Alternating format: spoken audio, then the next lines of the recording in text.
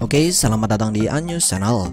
Pada kesempatan ini, kami akan membahas anime Black Clover episode 96 yang terfokus pada proses kebangkitan bangsa elf dan terfokus pada apa yang terjadi pada Kapten Yami setelah menyaksikan kekalahan Kaisar Sihir Julius di depan matanya sendiri. Dan seperti biasa, sebelum masuk ke dalam pembahasan, jangan lupa untuk klik like, share, subscribe, serta tekan tanda loncengnya juga ya. Terima kasih. Kemudian berikut adalah 8 hal menarik yang diperlihatkan di anime Black Clover episode 96 Pertama, seluruh manusia yang menjadi anggota mata matahari tengah malam menjadi tumbal sihir reinkarnasi. Dan setidaknya itulah yang ingin disampaikan oleh pihak official di bagian awal episode ini Kedua, entah mengapa di episode ini diperlihatkan semua orang yang menjadi wadah reinkarnasi elf adalah para manusia yang memiliki darah bangsawan. Ya walaupun ada beberapa orang yang tidak diakui sebagai bangsawan karena sudah dibuang oleh keluarga mereka sendiri. Seperti misalnya Couch, Mari, dan juga Lak. Tapi ingat walaupun mereka dibuang dari keluarganya sendiri, mereka tetap merupakan keturunan bangsawan dan mewarisi darah bangsawan kerajaan Clover. Nah,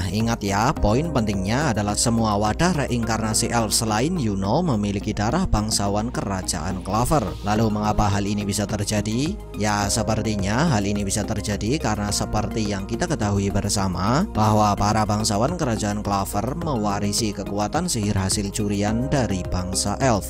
Ketiga, bangsa elf memiliki kemampuan untuk memaksimalkan sebuah sihir, di mana hal ini bisa kita simpulkan dari penjelasan Kapten Yami tentang sihir milik Marx, Owen, dan juga Charlotte, yang diperlihatkan sudah lebih sempurna dari sebelumnya pada saat digunakan oleh reinkarnasi elf. Keempat, pada saat Kapten Yami bertarung melawan Charlotte, diperlihatkan bahwa Kapten Yami sempat berkata, Aku memang suka wanita kuat. Tidak hanya itu, dia juga berkata, Sih, aku ini selalu mengagumimu loh.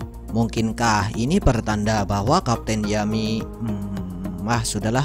Kelima, serangan sihir yang dilepaskan oleh Sol Maron sama sekali tidak mempan terhadap Charlotte yang sudah menjadi wadah reinkarnasi elf di mana hal ini bisa terjadi karena konsentrasi kekuatan sihir yang berada di sekitar Charlotte sangatlah besar.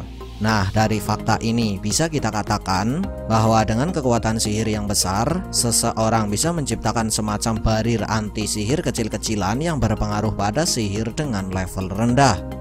Keenam, Charlotte terlihat seolah masih memiliki sedikit kesadaran walau tubuhnya sudah dikendalikan seutuhnya oleh reinkarnasi elf. Di mana hal ini bisa kita simpulkan dari ekspresi yang ditunjukkan Charlotte ketika Kapten Yami mengatakan beberapa perkataan di tengah pertarungan mereka berdua.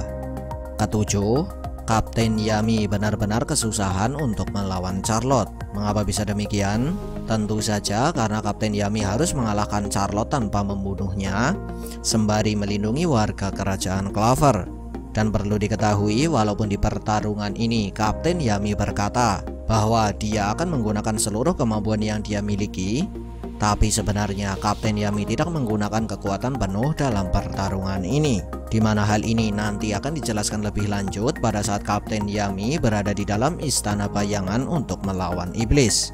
Kedelapan, sadarkah teman-teman bahwa di episode ini pihak official seolah sedang memberikan sedikit petunjuk tentang siapakah orang tua Yuno? Ya, walaupun kami sendiri belum yakin apakah hal ini merupakan sebuah petunjuk atau sebuah trap. Tapi bila ini benar-benar sebuah petunjuk, maka perlu teman-teman ketahui bahwa petunjuk ini dijelaskan secara tidak langsung oleh pihak official lewat sebuah fakta yang sudah kami jelaskan tadi di hal menarik kedua, di mana fakta tersebut berbunyi semua wadah reinkarnasi elf selain Yuno memiliki darah bangsawan dari kerajaan Clover. Nah, dari fakta ini kemudian muncul sebuah pertanyaan, mengapa Yuno bisa menjadi wadah reinkarnasi elf selain persamaan yang dia miliki dengan anak Tetia? Ya, tentu saja karena ada kemungkinan bahwa Yuno memiliki darah bangsawan di dalam dirinya. Dan bila hal ini memang benar terjadi, maka bisa kita katakan bahwa Yuno merupakan keturunan dari salah satu bangsawan di kerajaan Clover. Atau paling tidak, orang tua Yuno adalah orang yang mewarisi darah bangsawan dari kerajaan Clover. Sekian dari kami, and see ya.